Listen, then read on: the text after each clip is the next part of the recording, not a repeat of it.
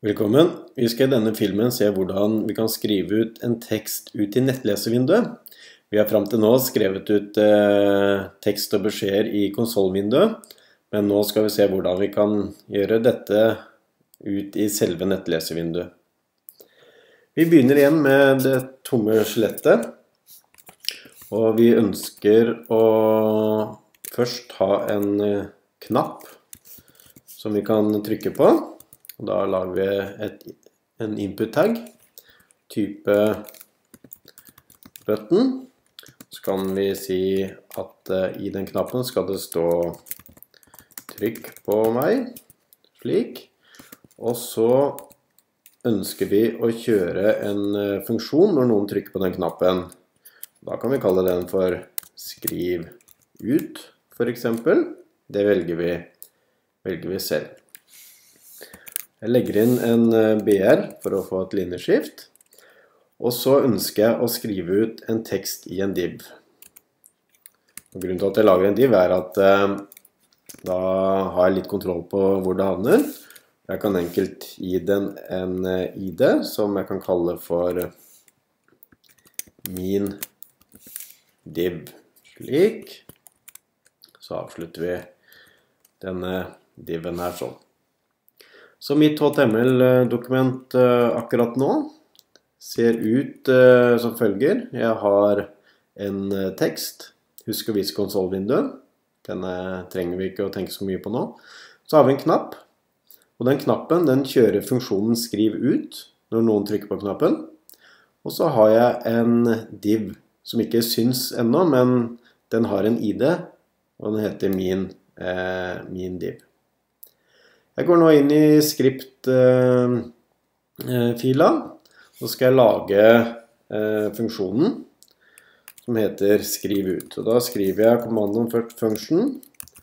Skriv ut. Og så må jeg ha disse snirkleparentesene. Og så kan jeg skrive koden som jeg ønsker inni her sånn. Nå skal vi se på en ny kommando. For nå skal jeg skrive ut en tekst i denne diven her. Så da må jeg på en eller annen måte fortelle eh, datamaskinen at det er denne diven her jeg ønsker å skrive ut eh, tekst i. Og For å få til det så må vi bruke en kommando, eller egentlig flere kommandoer. Document get element by id. Og det betyr rett og slett i eh, vårt dokument så skal, skal, jeg få tak i det elementet som har følgende ID.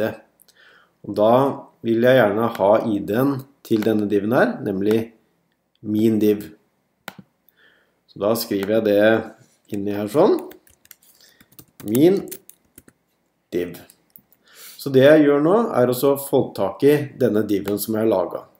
Og så er spørsmålet hva skal jeg gjøre med den diben? Jo, jeg skal legge inn egentlig eh, noe HTML-kode i denne her. Slik. Så da skriver jeg punktum inner HTML.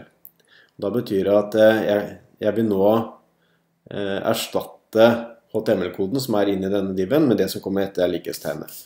Det jeg skal legge inn, er en ny tekst du trykket på knappen, slik.